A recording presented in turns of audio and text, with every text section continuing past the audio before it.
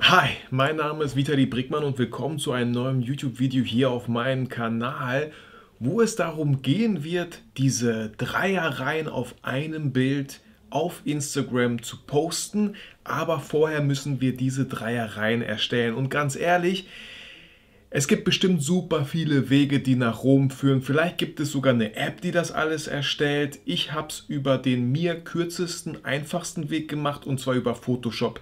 Ich wollte einfach eine Datei haben, in drei Reihen erstellen, die Bilder da reinziehen, aber das Ganze ist nicht so einfach, wie es klingt. Ich habe viele Fragen bekommen. Vitali, wie hast du diese Dreierreihen denn gemacht, dass die dann wirklich schön gedrittelt sind, die Bilder, dass die dann schön auf Instagram gepostet werden können? Deswegen würde ich sagen, lasst uns keine Zeit verlieren und uns direkt Photoshop anschauen. Aber kurz vorher, seht ihr diesen Weihnachtsbaum?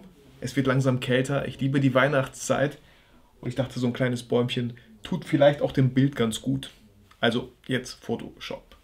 So, Photoshop. Wir klicken auf Neu erstellen. Wir gehen hier oben auf Webbereich und da wir ein Format von 5 zu 4 haben möchten für Instagram, könnte man hier 4000 mal 5000 Pixel schreiben. Aber da das viel zu viele Pixel sind für Instagram-Zwecke, reicht auch nur die Hälfte. Das bedeutet 2000 mal 2005, ups, 2500 Pixel. So, DPI passt. Zeichenflächen brauche ich nicht, die mag ich nicht für diese Zwecke und alles andere wird so passen und ich klicke auf Erstellen. Jetzt haben wir einen weißen Hintergrund. Ich doppelklicke hier einmal auf diesen Hintergrund und bestätige mit OK, um ihn einfach erstmal auszublenden. So, jetzt wollen wir diese Dreierreihen erstmal mit Hilfe von Hilfslinien einordnen hier. So ein schönes kleines Raster erstellen, mit dem wir viel einfacher hantieren können. Das bedeutet, wir haben hier eine Höhe von 2500 Pixel. Ich aktiviere mal den Taschenrechner, weil ich nicht so gut in Mathe bin, und rechne 2500 durch 3 um das hier schön gleichmäßig zu verteilen. Das sind 833 Pixel. Wir gehen wieder in Photoshop auf Ansicht, neue Hilfslinie, wählen horizontale Hilfslinie, weil wir wollen, dass sie von links nach rechts geht und klicken und tippen ein 833 Pixel. So, da ist unsere erste Linie und jetzt machen wir das nochmal und da ich wirklich schlecht in Mathe bin, ein Spaß, gehe ich sicherheitshalber einfach hier mal 2, weil wir jetzt die nächste Hilflinie Hilfslinie hier haben möchten. Und das sind 1666 Pixel. Und auch diesen Wert gebe ich hier mit einer neuen Hilfslinie ein. 1666 und drücke OK. Jetzt habe ich meine beiden Hilfslinien, die mir gleich helfen, die Bilder schön in diese Bereiche hier einzuordnen. Ich importiere einfach mal mein erstes Bild. Darüber gehe ich auf Dateien, platzieren und einbetten und gehe dann einmal kurz auf meine Festplatte, das Shooting mit Paula und habe hier schon die Bilder vormarkiert in grün, die ich hier gerne rein hätte. Ich drücke auf Platzieren. Das Bild wird geladen, ist drinne, passt sich auch schon hier links und rechts an und das möchte ich ganz oben haben. So. Ich platziere das mal so, bestätige mit OK beziehungsweise mit Enter. Aber jetzt haben wir das Problem, das ragt hier halt drüber. Und damit das nicht passiert, erstellen wir einfach eine Maske. Und damit wir ganz einfach eine Maske erstellen, war es so wichtig, dass wir diese Hilfslinien hier anlegen. Weil jetzt können wir einfach auf dieses Auswahlwerkzeug gehen, eine Auswahl ziehen und sie rastet hier bei den Hilfslinien ein. Und wir drücken einfach nur noch auf, ich warte, Ebene Maske hinzufügen und voilà, wir haben das Bild. Lasst euch nicht irritieren durch diese Anzeige hier, wenn man näher ranzoomt, dann ist das eigentlich geschlossen und da entsteht auch kein, keine Lücke oder so. Und wenn wir jetzt das Bild innerhalb dieser Maske bewegen wollen, und hier, das können wir nicht, bevor wir diese Klammer hier gelöst haben. Diese Klammer hier unten rechts einfach mal lösen und dann bleibt die Maske wenn wir, die, wenn wir das Bild auswählen, bleibt die Maske da, wo, es, wo sie ist, wird das Bild nur innerhalb dieser Maske bewegt. Und ich wähle einfach mal so diesen Ausschnitt, bestätige. Jetzt gehen wir zum nächsten Bild, welches wir hier einsetzen möchten. Wieder die gleichen Schritte platzieren und einbetten. Das Bild auswählen, was ich da haben möchte. Erstmal mit Enter bestätigen.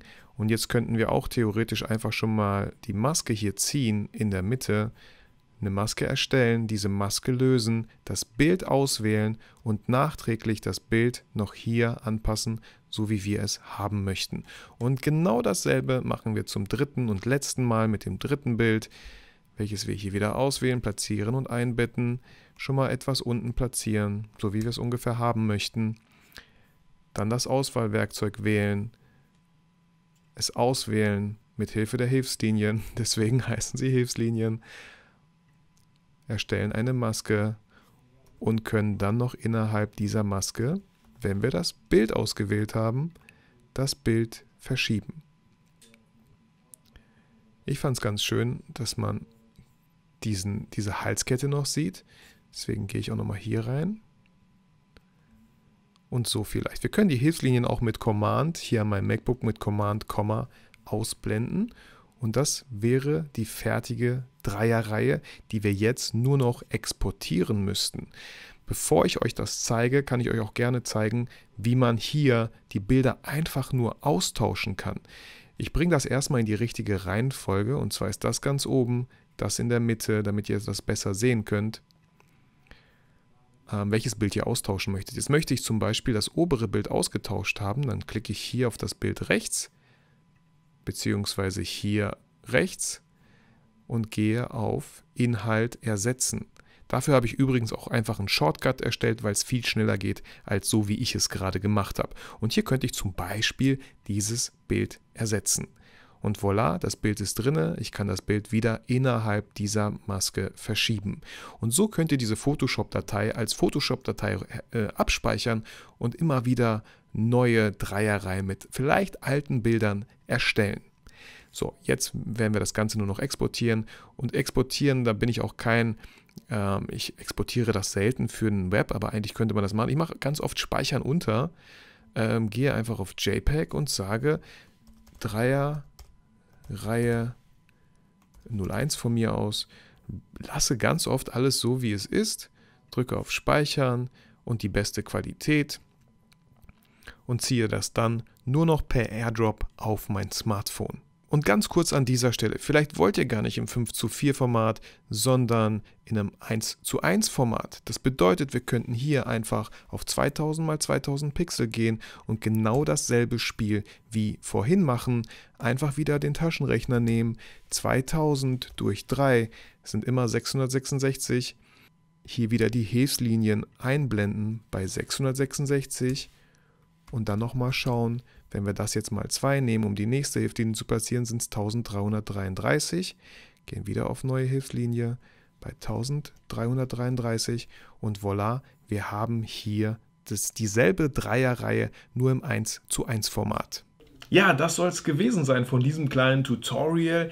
Der Vorteil bei einem 5 zu 4 Format, bei einem 5 zu 4 Bild ist einfach, dass ihr mehr Pixel zur Verfügung habt. Das bedeutet, eure Bilder größer präsentieren könnt. Der Nachteil ist so ein bisschen im Feed versteckt. So eine Dreierreihe in einem 1 zu 1 Format gepresst, sieht halt nicht so schön aus wie in einem 5 zu 4 Format. Deswegen auch nochmal die Möglichkeit, die ich euch am Ende gezeigt habe. Ihr könnt diese Dreierreihen auch im 1 zu 1 Format machen. Dadurch werden die Bilder noch schmaler, aber dafür es im Feed dann insgesamt insgesamt schöner aus. Müsst ihr selber für euch entscheiden. So, ich wünsche euch ganz viel Spaß beim selber nachmachen. Ich habe ihn aktuell. Ich schaue mir ganz alte Shootings an und versuche da aktuell Dreierreihen draus zu machen. Ist nochmal ein ganz anderes Bild. Es macht einfach unglaublich Spaß, alte Bilder rauszukramen, zu gucken, welche in einer Dreierreihe funktionieren. Hier natürlich die klare Empfehlung, Querformat ist viel leichter in eine Dreierreihe zu pressen als hochformatige Bilder. So, wenn euch das Video gefallen hat oder noch besser geholfen hat, und das hoffe ich ganz stark, dann gebt mir gerne einen Daumen, abonniert den Kanal für noch mehr Tipps in der Zukunft, haut auf die Glocke, nur nicht auf meine, bleibt gesund, ich wünsche euch alles Gute und vergesst niemals, warum ihr eigentlich fotografiert.